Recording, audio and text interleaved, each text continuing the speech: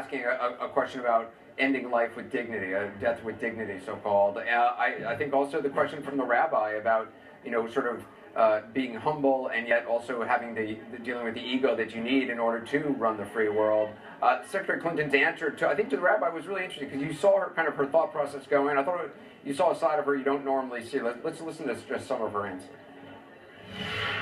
I read a uh, a treatment of the prodigal son parable by the uh, Jesuit Henri Nouwen, who I think is a magnificent writer of spiritual and theological uh, concerns. And I, I, read that parable, and there was a line in it that became just a lifeline for me. And it basically uh, is practice the discipline of gratitude. So, regardless of how hard the days are, how difficult the decisions are, be grateful.